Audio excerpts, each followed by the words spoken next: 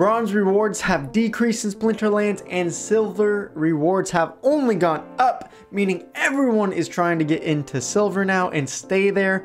In my last video guide, I showed you guys how to get into silver by buying or renting just one card. You guys can go check out that video up there, see how to get into silver. But even when you get into silver, it's sometimes hard now to even stay above that thousand rating. And so we're gonna show you today a couple different methods I want to try out to stay in silver, rank up within silver by just renting cards using the DEC I earn and spending no extra money. Hey everyone, I'm Luke here on my Play to Earn channel. Let's start getting into talking about how to rank up in silver. This is one of my alt accounts that I used in my complete beginner's guide. And you can see that while I got into silver, I'm kind of hovering and sometimes getting bounced out of that thousand rating and dropping back down into bronze, which I said in the intro means less DEC, less loot chests, and worse loot chests now with the season update. Now, as the season progresses, more and more people rank up with higher ratings, so it is a little bit easier to stay in silver, but still, we want to climb in silver without having to invest and buy credits, you know, to buy a 50, 100, 200 dollar silver deck as some people are doing. This is the freebie version, you know, earn some DEC, let's go look at some rentals and hopefully we can still stay in silver and rank up a bit and earn our rewards enough to outweigh the rentals we're gonna have to use our DEC on. So I have my trusty Excel sheet right here with the rentals I'm going to be looking at, cards that I eventually want to buy on this account to help me stay in silver, and we'll explain all of the math behind that here in a second. But I do want to give a couple caveats here because uh, honestly, this video might become irrelevant for a couple of reasons. One, Chaos Legion packs are coming out. I think it's October 18th. So we'll see how that affects. I don't know when the new ranked battle, they're going to make two different types of ranks and we'll see when they implement that. Uh, so you might actually want to be saving up your DEC to buy Chaos Legion packs instead. Uh, that is up to you though if you want to take that risk of opening packs and seeing what you get. Uh, also, I think everyone is starting to catch on into this like, hey, I need to get into silver. So renting to silver right now is only getting more and more expensive and we'll talk about that. So potentially it's actually uh, maybe better depending on rental prices and how much it's going to cost you to rent to get to silver. It may be better starting and just staying in bronze 2 or 1. Getting out of bronze 3 I think is really important right now, at least getting to that 2 or 1. But even so, these rentals will help you win in bronze 2 and 1. These cards will all be allowed to use. In this strategy, it's just going to be level 1 cards. All right, so here we go. Here's the strategy. Let's talk about some math. Then we'll get into rental cards and show you guys some battles. Hopefully it works out in the actuals. This strategy, number one that I'm gonna test out, I have three different strategies I wanna test out uh, among my three different alt accounts. This one is just simply renting the cheapest cards possible that will just help us give a rounded deck here in for low silver. So you're not going to be renting any high level summoners, you're not going to be renting any high level cards. It's all level one cards and some of the cheapest level one cards so that it gives us a ton of variety, you know, that we have an option for playing in a poison battle, we have an option for earthquake battle, we have an option when it's only the death deck, we have an option, you know, when it's no magic cards, stuff like that it's not going to give us the OP cards that are just going to you know, put this one card in and win every battle and, you know, spend 30 DEC a day renting it out. Uh, it's going to be the, well, let's rent all the cheapest stuff that we can and hopefully give us a smart, intelligent balance in our deck where we can outplay our opponents even if we have some worse cards in certain situations. All right, so let's talk about the math and see if it plays out throughout this video. We're gonna start off with a 100% capture rate. This is battle zero. And my recommendation for that is let your you know account charge back up to 100% before renting a bunch of cards so that you can get the best, you know, bang for your buck as you play with your rentals. Then if you want to, this for this example, we're gonna play 28 battles and drop our account down to 75% energy capture rate because then, you know, over one day it recharges 25%, we should go back up to 100%. Of course, you can play more than that in a day if you want to and just let it, you know, drop down to 50%, recharge to 75%, whatever you're feeling. But I recommend as you start with all these rental cards, at least start with 100%. 50%. If we get 50% win rate times 8 DEC on average, then that means we're going to be getting, uh, let's see, oops, 112 DEC net. Uh, to rent to silver, as I said, is going to be more expensive. It was at one point, you could go to peak monsters here. And a couple days ago, you could look at the CP uh, DEC a day and you could be getting, you know, sometimes cards that have 1500 CP uh, for you know whatever the division for one DEC a day is. So you know you could rent a card that's worth one DEC a day and be getting 1500 power. Then at some point it dropped down to you could get a thousand out of it, especially if you go to gold cards. And now you can see that rental prices have gone crazy. I, mean, I'm trying to find a card. Here's a card for 2000 CP gold, and it's only 500 card power, you know, for one DEC a day. So rates have gone way up. So it's gonna make it harder for DEC uh, to get into silver even. So if you haven't already, that's gonna be an issue for you. You're gonna have to you know spend all day clicking refresh and trying to get cheap rental deals to get enough power into silver. Part of that is as the season starts, you get can get way better deals for rentals because everyone's renting the last day to get those last season rewards, and then people kind of cool off. And if you just you know jump in day one and get as much power as you can, rent for the whole season to get into silver, that's the best strategy I found. And then the prices increase as the season gets longer. But we'll also have to wait and see because it might just be with these new reward changes. People are trying to be in silver all the time, which is driving up these rental prices. So even in, we'll you know we'll see when the new season hits, but even then it might still be expensive. I don't know. So if you can somehow get you know 1000 card power per one DEC a day. Then of course it's 15 DEC a day to rent to get into silver. But I'm gonna assume that you're not gonna find that great of deal right now what is happening in the market. So I'm assuming right now it's gonna be more like 20 DEC to rent to silver per day. Then as I picked out all the cards that I want to rent, including summoners, neutral, and each deck besides the life, or sorry, besides the earth deck, because the earth deck feels a little too expensive to rent for the cards I would want. That's gonna bring our DEC renting to 42.91 in theory, based on the prices I saw yesterday, meaning based on these numbers, we'd be getting about 69.09 DEC profit per day. I'm gonna actually go and rent these cards with this account and instead hopefully I'm getting more around 75 DEC a day. Then I'm listing out these cards that I would want to buy with that if I'm not going for Chaos Legion packs and that would be about uh, you know each one you know eight dollars for the neutrals eight for fire five for water just some get some cards again these rounded for the you know low level silver play and all that would be roughly based on DEC being one cent per DEC right now is going to be about 49 days before I could have enough DEC to buy all these cards. So you can either use the Splinterlands market or the Peak Monsters. Right now I'm going to use the Splinterlands just to show you guys the cards and be able to explain with the picture right there a little bit more. We're to start off with Brighten Bloom and lock him up for, we're to do a week for this test deck. All right, finally went through Brighten Bloom for 0.39 DEC a day. The reason I want this card is because it is really powerful in Earthquake battles when you can use the Dragon deck and give all of your deck flying, and sometimes in really high mana battles that you know prolong the fight over and over and over, then having flying with that 25% dodge can add an extra, you know, layer to your team to really draw out the battle and hopefully dodge enough uh, shots that you end up winning. All right, we're gonna get Ouster for a 1.9 DEC per day, which is a little more than I wanna spend. I want these cheap uh, rentals, you know, mostly to be under one DEC per day. But with the new water deck reward cards, it seems like everyone is using magic in low silver. And so to have a summoner that's going to give magic reflect to your whole team can be insanely powerful to counter that. And we picked up Delwyn for 0.36 DEC per day, which was a little bit cheaper than the rest of the market, so that was lucky. And what I like about this card is that it can add the plus one magic to any deck. So instead of the water deck, you could use it with the life deck and there's some uh, powerful magic there. There might be some dragon cards that we can rent that give us uh, magic damage as well. So we could add it to really any deck and it can, you know, really surprise an enemy to use magic while not using the water deck. All right, moving on to neutrals. These can be really powerful to rent. If you're gonna rent anything, honestly, just rent these neutrals because they can played with, be played with any deck besides when there's the no neutrals rule set. But you know, that's not too often, maybe one out of 10 matches or so.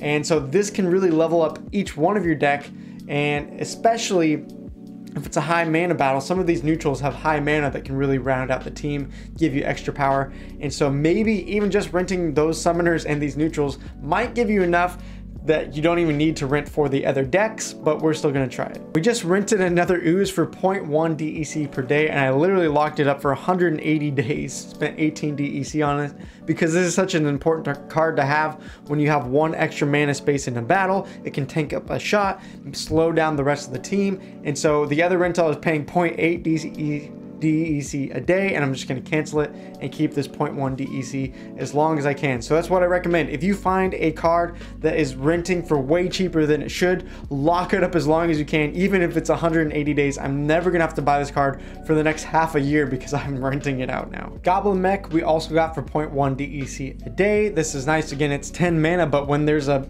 you know battle with 50 mana, it's hard for a low silver silver level player to get enough mana to actually make their team into you know those 40 50 mana team battles. It has a lot of armor high attack and piercing so if another monster has one armor and he has you know four hits. It's still going to go through the one armor and then the three health as well instead of just taking away that one armor. Renting rusty android for 0.1 again another magic reflect that you can have in every single deck if you can use neutrals for that battle. Sandworm another high mana but high damage to the backline the gelatinous cube is really important for poison battles because it has high HP and will scavenge a health anytime a monster dies. Prismatic energy is one you can go for. We're going to hold off for now because it is at 3 DEC per day right now, but if you can find a good deal on it, nab it up because it again is one of those neutrals with magic reflect, but also deals magic damage at the same time with a high HP meaning it can be a very good, you know, snipe card, or you can put it in the front if you think they're going to front load magic damage. For now, we're going to hold off though, because 3 DEC is more than I want to pay for it right now. All right, so far after all of that, we've only spent 3.16 DEC a day besides the DEC renting to silver. You can see, even if you just rent neutrals, those cards are there. Those five cards are only going to cost you 0.5 DEC a day to help every one of your decks. Unfortunately, the price for Molten Ogre went from 0.1 to 0.3 as of yesterday, but a good card that's still cheap enough that can, you know, help you in high mana battles and take away melee attack from the rest of the enemy team. A free Elder to sometimes help you in Earthquake or Poison battles because it becomes the last monster alive. It's going to gain a lot more health and still have uh, 2 magic damage and higher speed. Lava Launcher is hopefully a reward card that you can pull from a loot chest because it can really help your fire deck. It can sit in the second place in a fight and absorb a lot of snipe shots and then it also can have range attack from the front so it can slot from the second tank into the first tank and help you win more fire matches. Phineas Rage, another fire deck with reach, so especially with the plus one melee that you can get from your summoner, can do a lot of damage from second place in line. Pyromancer, it can be great in your fire deck to have two blast opponents, or at least this blast guy has five health instead of the other one in your normal deck that only has two health. Naga Fire Wizard can reduce melee and ranged attacks and do two magic damage, and if we combine them with Delwyn using the dragon deck, it can be three magic damage, so it's a good card to have in the back pocket. Lastly, in the fire deck, Pyromaniac to do the two range damage in the backline. All right, so you can see I got all those fire cards for just 2.31 DEC a day. Not bad. All right, moving on to the water deck. Hopefully you bought this uh, Venari Wavesmith when you watched my beginner's guide because the price keeps going up and up. It used to be, I think, at like a dollar fifty when I did the video. Now it's at 350, meaning you're probably going to have to rent this for now unless you bought it uh, when you saw that video. But luckily you can rent it for about 0.48 DEC a day. Again, it's super powerful to have magic damage and give yourself two armor to all of your water deck. Battle Orca is an option that you can go for, giving you a little bit of melee attack, but usually mostly just to have the extra five health for only three mana. But I'm gonna skip it for now, hopefully going for the Kelp Initiate, which hopefully isn't too much more expensive DEC per day. I don't love Sea Genie, but it is so cheap to rent for some extra mana damage, so we're gonna do it. Windmaster is going to reduce the ranged attack of all enemy monsters if you think they're gonna use a bunch of ranged attack, this can be great to have in your water deck. Pirate Archer is going to give us that blast damage. Sea Monster for the tank that can heal, do a lot of damage, and can especially be good for poison or earthquake battles because it will heal, especially if you don't put it in the very front of your team. Whew, I grabbed the Kelp Initiate for 0.21 DEC per day. That was much cheaper than the rest. And this is a great tank for low mana ba battles. With the 5 health, you use the Wavesmith to give the 2 armor on it as well. It can be a super powered 2 mana tank. Lastly, for the water deck, we're going to get the Captain's Ghost for the 2 magic plus 1 is going to be doing 3. And then if an enemy team has a tank that heals itself, it can apply the affliction to make it stop healing. Alright, so after summoners, neutrals, fire, and water, we are now at 27.5 DEC renting per day with the extra rent to silver, but we only spent 2.036 on the water, which is actually lucky, lucky because I found some really great deals uh, low rental prices on some of these cards that shouldn't have been that low. So again, you can be patient, you can refresh the page, you can look for really good deals and then lock them up for longer times. And this only cost me around 2 DEC per day to really boost up my water deck. All right, as I said earlier, I'm gonna skip the earth deck for now, unless you have Mylor. A lot of the cards I would want to rent are, you know, anywhere from 2 to even like 10 DEC per day meaning it's not going to be cheap enough for me to rent and really use the Earth deck, in my opinion, right now. All right, moving on to the Life deck, we're going to get the Warrior Peace to remove some of their melee attack damage. If you don't have the Venari Crystal Smith, go get it because it's going to give you double heals on the life team. Djinn Renova for the extra health, 2 magic damage, and if you use Delwyn for the dragon deck, that's going to be 3 magic damage. Alright, the Sheriff, because it's a high mana, 3 ranged attack to a snipe, and he's just so cheap that might as well. All right, the Bard is actually important because it's gonna cleanse your tank, which if you're running double heals or things like that, and someone lands Affliction on your tank and removes the ability to be healing, this card can remove that and keep your tank healthy. The Evangelist is gonna give us more cheap range damage and can take away flying. Alright, the Armorsmith is going to be one of our most expensive cards at 1.8 DEC a day, but it is so powerful to be able to replenish the armor on your team that I felt like ah, I kind of have to rent them for the life deck. Lastly, we're going to grab the Temple Priest just in case we run the Delwyn comp with the dragon deck and get the plus one magic, meaning would do three magic damage. All right, so after the life deck, that brings up our total to 30.8 DEC per day. And for the life deck specifically, 3.36 DEC a day. And most of that, honestly, was from the Armor Smith. So maybe you can make an argument from not renting the Armor Smith, but I feel like it's so powerful that I wanted it. All right, two decks to go. Let's not lose our focus. Let's not lose our energy onto the Death deck. Undead Rex for the high mana battles and a ton of damage. Undead Minotaur I don't love, but it's so cheap in certain situations like when there's a rule set of Blast and monster melees have uh, Sneak Attack. He's going to be doing damage, double damage to both backline members. So something like that can be helpful. Grim Reaper for the cheap ranged attack damage plus affliction. Octopiter more range damage. Boogeyman for the magic damage plus slow. Shadowy Presence, even though it's almost a DEC per day, and it's not that sexy of a card, you know, one mana, four health, no attack, it can absorb, you know, a couple snipe shots, it can absorb a sneak attack in the back, or you know you put it in the front line to absorb a, a, few shots before your tank gets into the front. So it can be really powerful. And then lastly darkest mage for some more magic attack damage. All right with one deck left to go we are now at 33 dec a day. And you can see the death deck is now sitting just under summoners with 2.58 dec per day. For the dragon deck there isn't many cards that are cheap enough to make it worth it but there are a few that can be helpful. Djinn Chawala is one that I'm going to grab for 0.3 DEC, a huge tank, armor, health, and thorns. Serpentine Mystic for the extra magic damage and affliction to stop the healing on their tanks. Straggling Bowman for the sneak attack with the range. And then I was thinking about getting Fire Spitter, but unfortunately the rental price has doubled within the last day because it has so much card power to it as well as an epic dragon monster. So I think I'm going to skip out on it for now. Whew, that was a lot. Hopefully you guys hung in there and hopefully that was helpful. It is going to bring our total from those cards to around 15 DEC per day, plus what I estimate it's going to take you to rent to silver 20 DEC a day for a total of 35.